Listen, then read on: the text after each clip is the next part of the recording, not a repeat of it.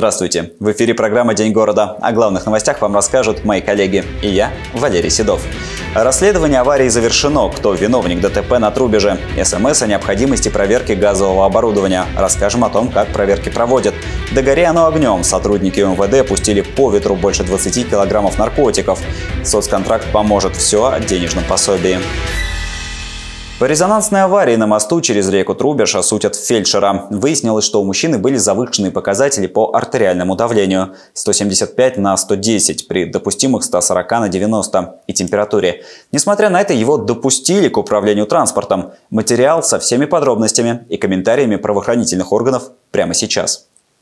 Это кадры апрельской аварии на мосту через Трубеж. Тогда маршрутный автобус на скорости врезался в автомобили, стоящие в пробке. Буквально под замес попали сразу 12 транспортных средств. 9 человек получили травмы, в том числе и годовалый ребенок. Проверка областной прокуратуры и Следственного комитета длилась полгода. Причину ДТП назвали сразу. Водителю маршрутки стало плохо за рулем. А вот степень вины каждого ответственного лица установили только сейчас. Следствием установлено 12 апреля 2021 года водитель пассажирского автобуса прошел предрейсовый осмотр водителей.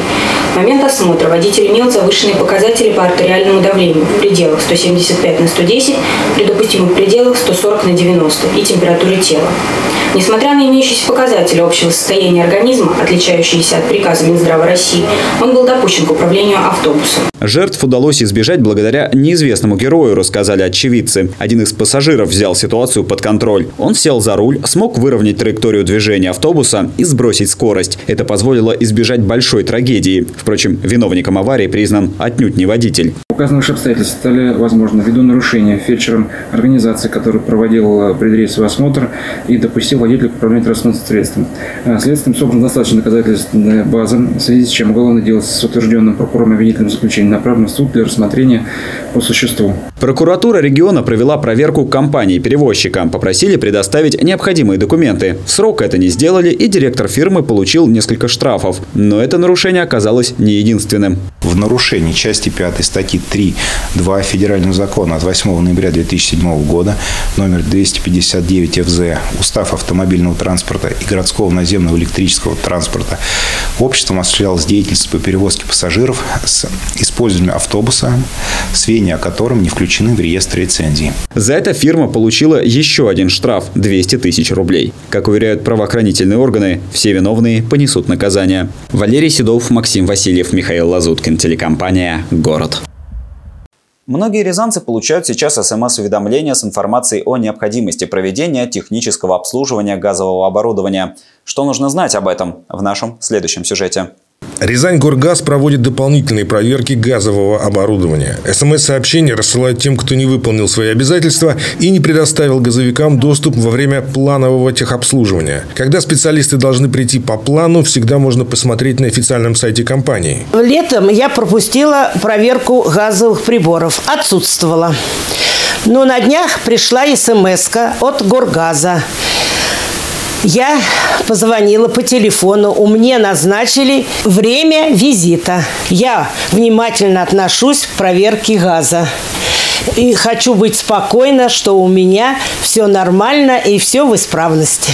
Газовое оборудование – это, как известно, источник повышенной опасности. Для Римы Федоровой это не просто слова. В ее доме отопительный газовый котел, водогрейная газовая колонка, газовая плита. Утечка в соединении может привести к взрыву, а неисправность дымохода к отравлению угарным газом. Как объясняет специалист, оборудование, не прошедшее техобслуживание, увеличивает риск аварий. Внеплановая проверка – это дополнительное мероприятие к ежегодным техническим обслуживаниям. Цель – повышение безопасности газифицированного жилищного фонда города Рязани. Э, за 9 месяцев текущего года дополнительно проверили 1819 э, квартир и домовладений. В 345 из них выявлены нарушения, такие как неисправность автоматики безопасности газового оборудования, самовольное подключение и ремонт газовых приборов, а самое основное – это отсутствие тяги в домовых и вентиляционных каналах. Вынуждены были отключить газовые приборы, так так как оно, оно создавало угрозу жизни и здоровью граждан. Особое внимание газовым приборам с отводом продуктов сгорания. Это отопительные котлы и газовые колонки. При отсутствии тяги включать их категорически запрещено. Так, чтобы зажечь котел, убедились. что газом у вас не пахнет, открыли окно. Приложили листочек, проверили тягу. Вот, прилипает, значит тяга хорошая.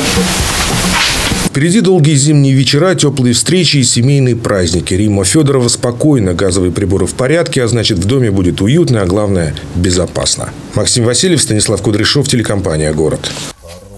Несколько килограммов наркотических и психотропных веществ отправили в топку сотрудники МВД России по Рязанской области. Все вещества изымались в ходе работы по противодействию незаконного оборота наркотиков. Герман Гущин с подробностями.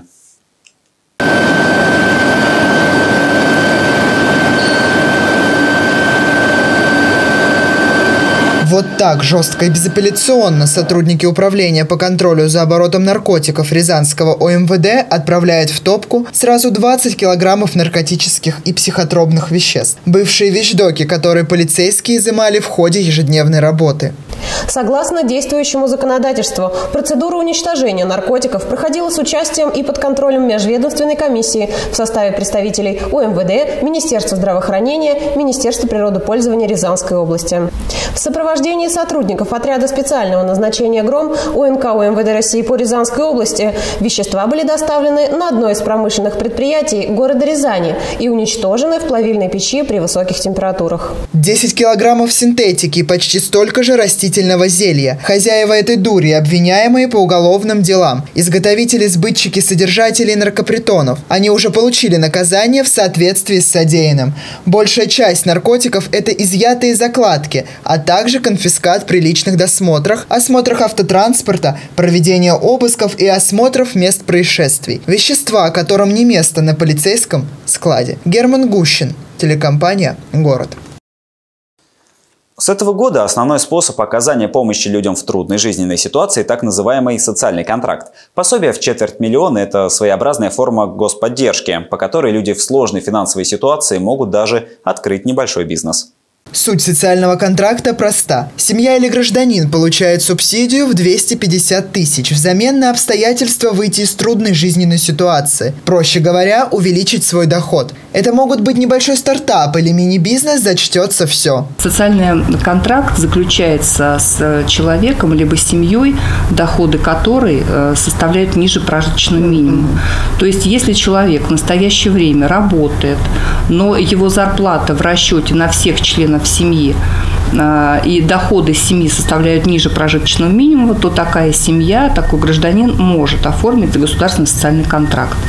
Для того, чтобы оформить контракт, а, необходимо подать заявление через МФЦ, либо можно направить непосредственно почтовым переводом а, в адрес Управления социальной защиты населения Рязанской области. Варианты присутствуют самые разные. Это и ведение подсобного хозяйства, и предпринимательская деятельность. Социальную помощь можно потратить на технику, одежду и другие нужды семьи. Мало кто знает, но в Рязанской области программа работает с 2015 года. Для назначения выплат необходимо подать заявление, документ, удостоверяющий личность и справку о доходах семьи или гражданина за три месяца. Более подробно о всех необходимых документах можно ознакомиться на сайте Министерства труда и социальной защиты населения. В текущем году уже подано 709 заявлений на оформление государственного социального контракта, заключено 318 контрактов. А, большинство контрактов заключается по направлению поиск работы. Их у нас заключено 69. А, по индивидуальной предпринимательской деятельности на текущий момент 10 контрактов. И мы хотели бы призвать с тем, чтобы наши граждане более активно а, занимались своим бизнесом. И это помогло бы им встать на ноги. Традиционно большое количество обращений идет по иным мероприятиям. В основном это касается многодетных семей, которым требуется какая-то бытовая техника и которые в настоящий момент не имеют возможности активно заниматься там, предпринимательской деятельностью, поскольку заняты уходом за детьми. Социальный контракт предоставляется гражданам в виде ежемесячных или единовременных денежных выплат. Максимальная сумма социального контракта 250 тысяч рублей. Вообще, данная мера поддержки граждан открывает новые возможности для активной занятости и выхода из трудной жизненной ситуации. Герман Гущин, Станислав Кудряшов, телекомпания «Город». Это были все новости на данный момент. Еще больше информации вы сможете узнать на нашем сайте город62.тв и в группе в социальных сетях. А на этом я с вами прощаюсь. Хорошего вам дня и до встречи в эфире.